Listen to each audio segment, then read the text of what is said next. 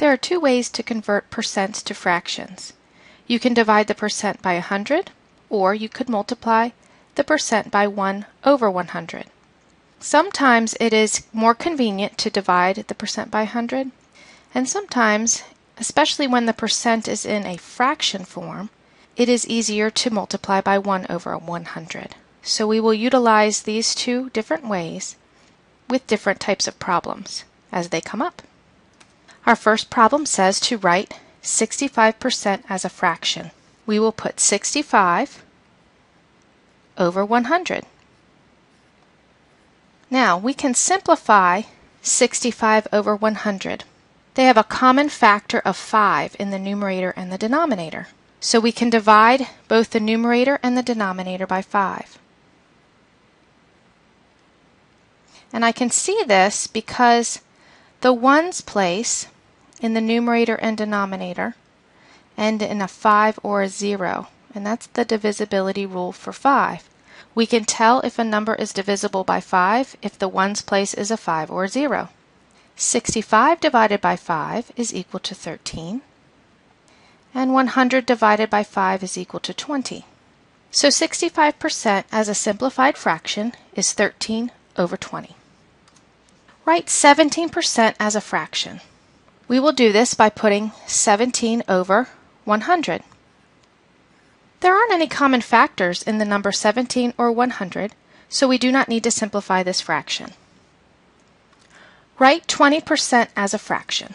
We will write 20 over 100 to write this as a fraction. We can see that there is a common factor of 10 in the numerator and denominator because the ones place is a 0. But also 20 and 100 are divisible by 20. So the greatest common factor in the numerator and denominator is 20. So we can divide the numerator and denominator by 20.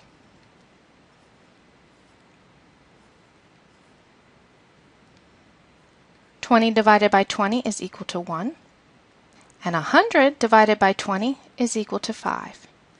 So 20% as a simplified fraction is 1 over 5. Write 130% as a fraction. We will write 130 over 100 and then simplify this fraction.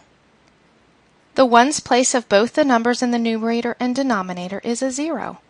So we know a common factor is 10, so we can divide both the numerator and the denominator by 10.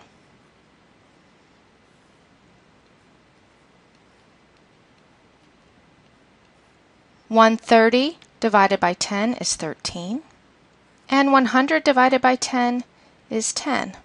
So our simplified fraction for 130% is 13 tenths. There are two ways to convert percents to fractions. You can divide the percent by 100, or you could multiply the percent by 1 over 100. We will utilize these two methods given the different types of problems that we see.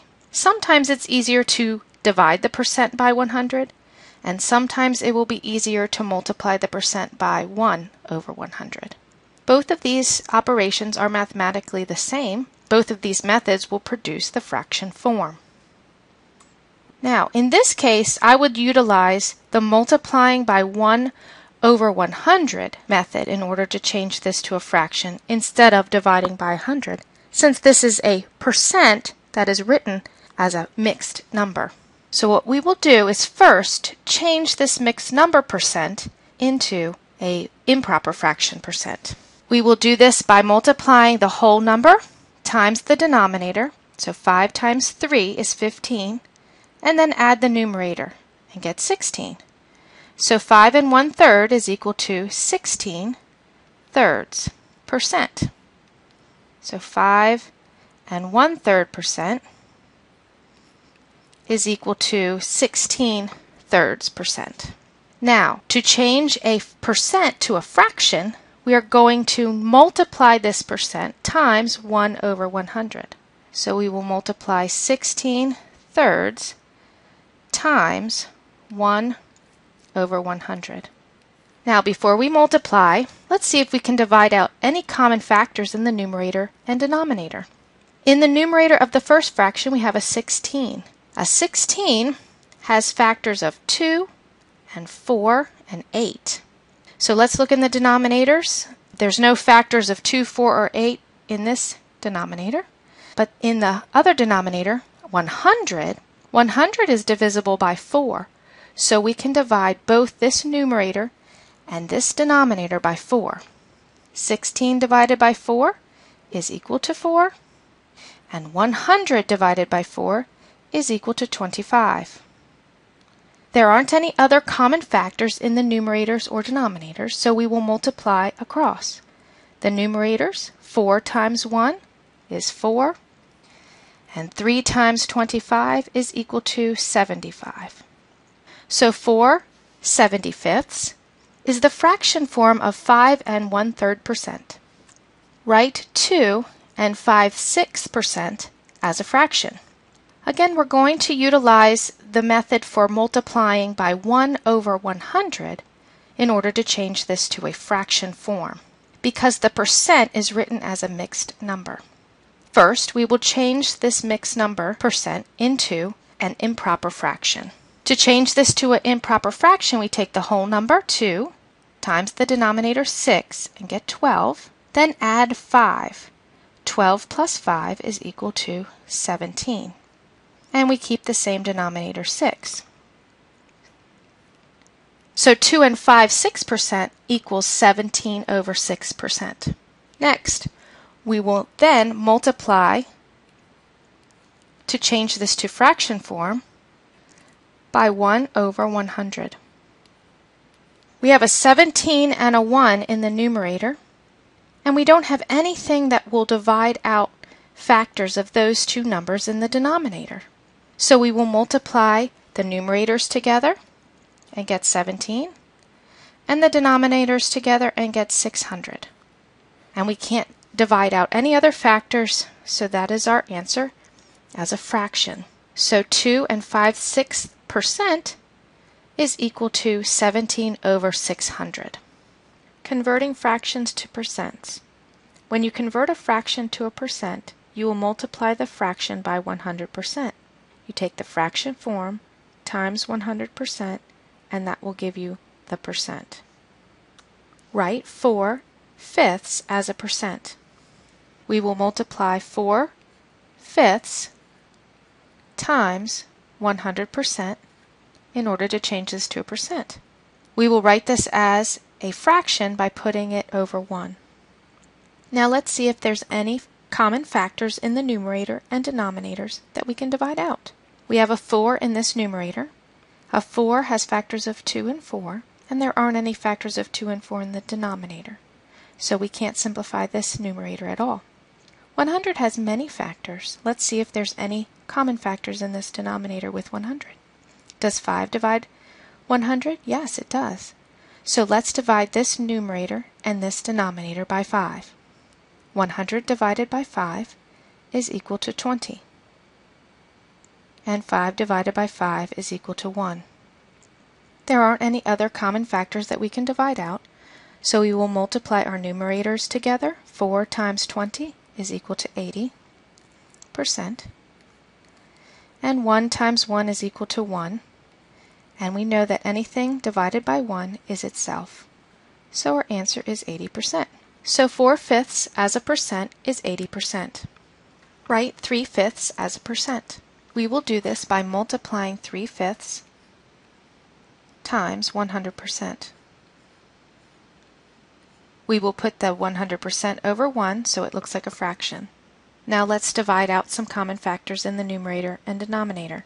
We don't have any common factors in the denominator that would divide out this 3, but we do have a common factor of 5 in 100 and 5, so we will divide this numerator and this denominator by 5.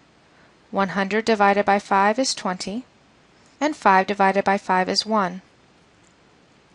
We don't have any other common factors to divide out, so we multiply 3 times 20 and get 60%, and 1 times 1, which is 1, in our denominator, and anything divided by 1 is itself so our answer is 60%.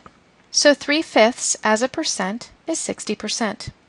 Write 1 and 3 fifths as a percent. First, we will need to change this mixed number into an improper fraction. 1 times 5 is 5, plus 3 is 8. And we keep the denominator the same. To change to a percent, we multiply by 100%. And because we are working with fractions, we will put the 100% over 1. We will look to divide out common factors in the numerator and denominator before we multiply. We have an 8 in the numerator, but we don't have any common factors with 8 in either of these denominators, so we can't simplify the 8.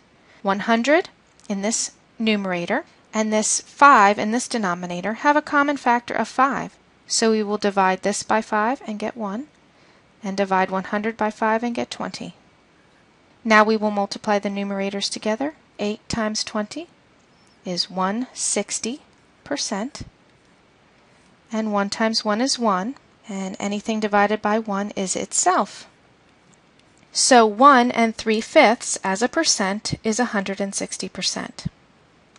Write 6 as a percent.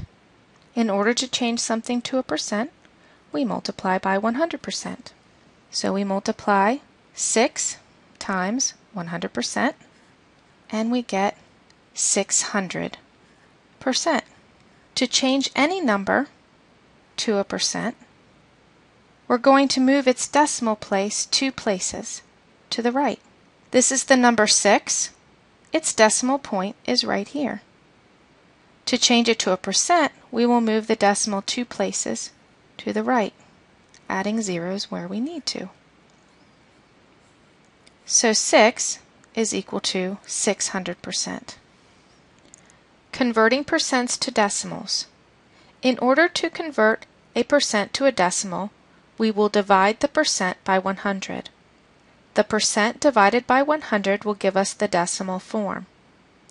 When we divide by 100, what will happen is that the decimal point in the percent will move two places to the left. Write 68% as a decimal. In order to write a percent as a decimal, we will divide the percent by 100. So 68 percent divided by 100 is equal to 0.68 or 68 hundredths. Notice that the decimal point moved two places to the left. In the percent, the decimal point was here. We moved it one, two places when we multiplied it by 100. 68% as a decimal is 0.68. Write 32% as a decimal. In order to change a percent to a decimal, we will divide by 100. 32%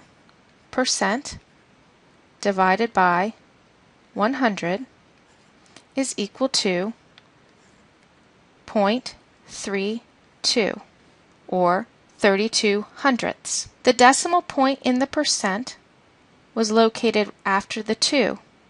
We moved that decimal point two places when we divided by 100. We moved that decimal point two places to the left when we divided by 100, and therefore we got 0.32 or 32 hundredths. Write 4% as a decimal. To change a percent to a decimal, we will divide by 100. 4% divided by 100 is equal to 0.04. The decimal point in the number 4, or 4%, was here, and we moved the decimal two places to the left. We needed to put a 0 in order to hold a place value. So 4% divided by 100 is equal to 0.04 or 4 hundredths. Write 126% as a decimal. In order to change a percent to a decimal, we divide by 100. 126% divided by 100 is equal to 1.26 or 1 and 26 hundredths. In the number 126, the decimal point is located here. When we divided by 100, we move that decimal two places to the left and got 1.26 as the decimal form. Converting decimals to percents. When we convert a decimal to a percent, we will multiply the decimal by 100%. We take the decimal form times 100% and that'll give us the percent form of the decimal. You will notice that the decimal point in the decimal form will move two places to the right when we change it to a percent. Write 49 hundredths as a percent. To change a decimal to a percent, we will multiply by 100%. So 0.49 times 100% is equal to 49 percent. Notice, when we multiply by 100, the decimal point will move two places to the right. Write 0.3 as a percent. When we change a decimal to a percent, we will multiply by 100%. 0.3 times 100% is equal to 30%. Notice in the number 0.3 or 3 tenths, we move the decimal place two places to the right, holding with a zero, and therefore got 30% with the decimal here. So when we multiply by 100, the decimal point will move two places to the right. Write 0.025 as a percent.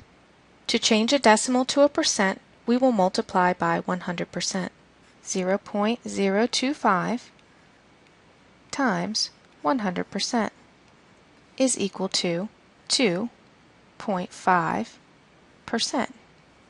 In the number 0.025, when we multiplied by 100, we moved the decimal two places to the right and got 2.5%. Write 5 as a percent. In order to write a number as a percent, we will multiply by 100%. 5 times 100% is equal to 500%. In the number 5, the decimal point is to the right, and we move the decimal two places to the right. And we need to add zeros in order to hold place values. Therefore, we get 500%.